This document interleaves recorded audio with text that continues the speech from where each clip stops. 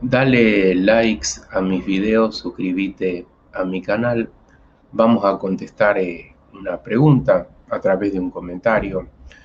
Eh, de la noche a la mañana él cambió, Rodrigo, me dejó de amar. ¿Cuántas veces yo he escuchado esto en 25 años? La he escuchado miles de veces. De la noche a la mañana una persona me dejó de amar. O, Rodrigo, estamos en crisis con mi pareja en el último mes, en los últimos dos meses. Yo creo que a partir de esta crisis me va a dejar de amar. Y quien te ama de verdad profundamente no te va a dejar de amar por una crisis, al revés, la crisis, y los dos hacen las cosas bien, ¿no? La crisis lo que va a hacer es fortificar a la pareja, porque la crisis puede tener una utilidad también. A partir de la crisis en una pareja, los dos se dan cuenta, por ejemplo, de las cosas que deben cambiar, de cómo deben transmutar energías negativas a positivas, tú miras cómo has actuado en la relación en los últimos meses y, por ejemplo, puedes decir, bueno, me equivoqué, no estuve atento a las necesidades de mi pareja, no escuché a mi pareja, tengo que cambiar. Entonces tú cambias la actitud, tú cambias eh, la forma de comunicarte, ¿no? Tú haces un cambio energético, por ejemplo. Entonces, si los dos se dan una oportunidad de volver, porque el amor no se va a ir en una crisis, el amor de verdad, y, más si intentamos resolver las cosas y hacer, hacer todo de la mejor manera posible.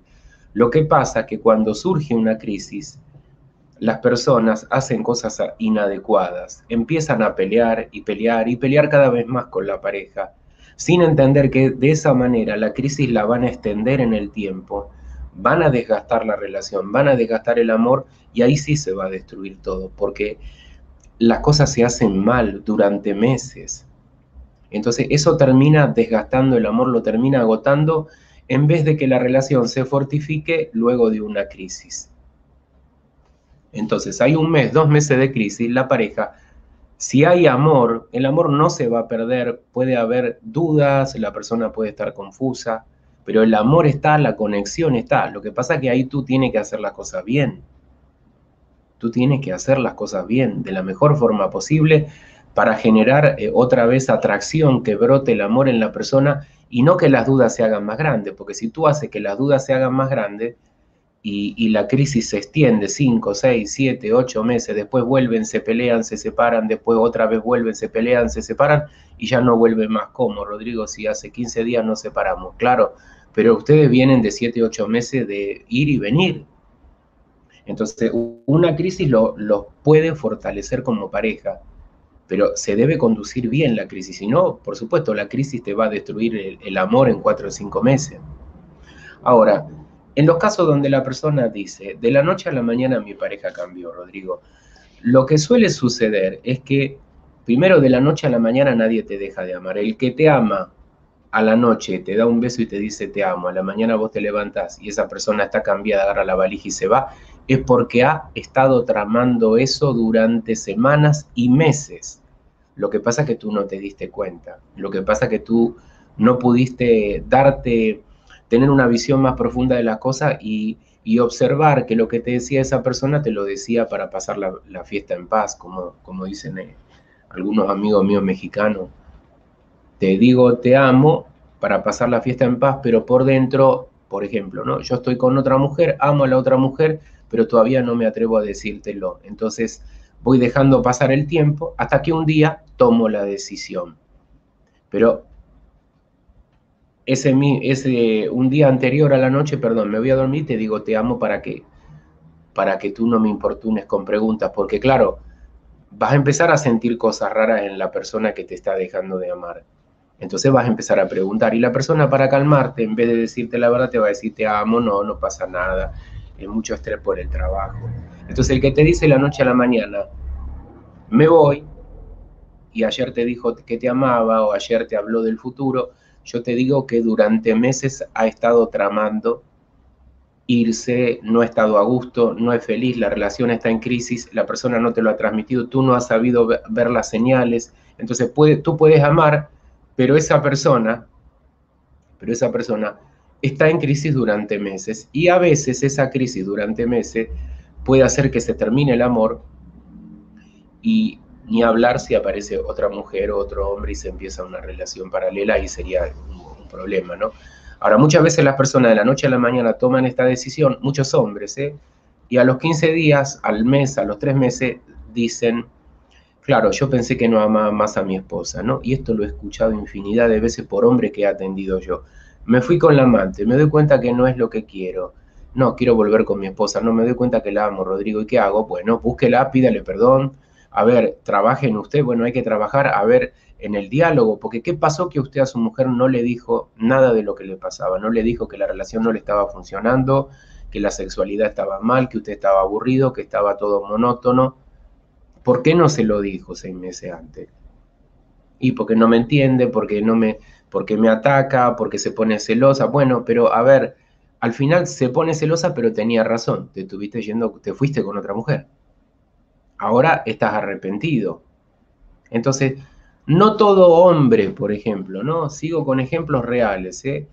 que un día te dice te amo, al otro día te abandona, no todo, y lo viene pensando y sintiendo durante meses porque hay un bloqueo, no todo hombre te dejó de amar, a veces vuelven, simplemente te dicen me voy porque hay confusión, porque esa persona está con otra mujer o con otro hombre, y cada situación hay que evaluarla bien y una persona no te deja de amar en 24 horas, salvo que tú hagas una cosa extremadamente mala pero tampoco la persona se va a sentir muy herida, va a tener mucho enojo, pero el sentimiento va a estar y, le va a llevar un tiempo sacar el, amor, eh, diluir ese amor y transformarlo en otra cosa. Pero tú deberías hacer algo muy grave, que no suele ocurrir en casos como los que yo atiendo, ¿no? Entonces hay que entender que nadie deja de amar de la noche a la mañana y que si te parece así es porque esa persona manifestó lo que venía pensando durante meses. Si tú dices todo era perfecto es porque no has no conoces a tu pareja y no te has dado cuenta de las señales. Y si vos te pones a pensar y a repasar el pasado, te vas a dar cuenta con la mente que vas a encontrar ahora sí señales. Ahora que te abandonó tu esposo, vas a encontrar señales y vas a decir, claro, ahora entiendo por qué él me dijo tal día que se iba con los amigos y desapareció y, y fue todo muy raro y yo sospeché algo raro, pero bueno, como él me dice que me ama, le creí. Después me acuerdo que dos veces lo agarré eh, chateando por WhatsApp y cuando me acerqué él enseguida guardó el teléfono. Después me di cuenta que le cambió la clave a su teléfono móvil para que no entre. Claro, ahora me doy cuenta que todos esos detalles yo no, no los supe interpretar bien, como que él algo escondía, todo ese recelo, toda esa prudencia. Ahora me doy cuenta, porque sí, cuando las cosas pasan, y la persona te deja, vos miras para atrás, analizás y empezás a ver lo que no pudiste ver antes. Y eso no significa que seas un, tonto o una tonta si te pasó eso. No pudiste ver las señales, pero ahora hay que despertar e intentar ver las señales, intentar analizar a ver si esta persona se fue de la noche a la mañana. Puede ser confusión, puede ser que se arrepiente y vuelva dentro de un tiempo. Bueno, primero, ¿qué hago por mí? Intento entender la situación, pero ¿qué hago por mí? Tengo que cambiar mi energía, empoderarme, ponerme fuerte, si no se me, va a sobrevenir una depresión muy fuerte, una angustia terrible, se me va a venir la autoestima al piso. Yo tengo que trabajar en mí si me pasa eso. ¿Se entiende? Eh, si no se ha podido superar una crisis y son todas idas y venidas durante meses y meses, y, usted dice, pero Rodrigo, la crisis va a fortalecer a la pareja que se ama, sí, pero si hacen las cosas bien. Si ustedes sistemáticamente hacen las cosas mal, durante 6, 7 meses se van a destruir. Entonces, si usted está en esa situación, yo creo que ya tiene que empezar a pensar que, que, que quizá ese amor que ustedes se tenían un año atrás, supongamos, en los últimos seis meses de pelear, de idas, de venidas, de traiciones, de peleas, de reproches, de culpas que se echan los dos entre sí y a sí mismo, ese amor ya no tiene la misma calidad, no tiene la misma energía. Y probablemente tú no te das cuenta, pero dejaste de amar a esa persona y esa persona quizá te dejó de amar a ti.